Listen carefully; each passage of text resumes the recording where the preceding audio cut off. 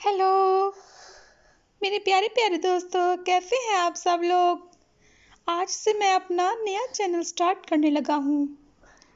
Please मेरे channel को subscribe करें और बेल आइकन पर ज़रूर क्लिक करें।